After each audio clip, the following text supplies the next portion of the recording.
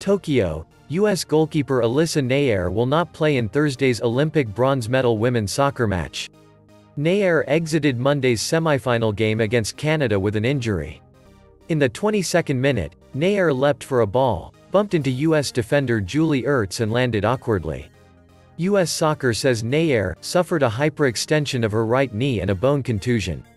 She remained on the ground while the team's medical staff attended to her.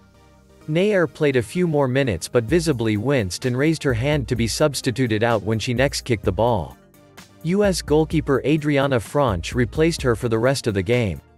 Canada defeated the U.S. 1-0 to advance to Friday's gold medal match against Sweden. U.S. Soccer said in a news release that Naeher had an MRI after the game which showed no ligament damage. I'm disappointed I won't be able to be on the field Thursday with my teammates competing for a medal, but I know this group will bounce back from a tough loss, Naeher said. She's expected to be out for several weeks. The U.S. team, which is top-ranked and reigning Women's World Cup champions, will take on Australia for the bronze medal on Thursday at 4 a.m. Eastern Time.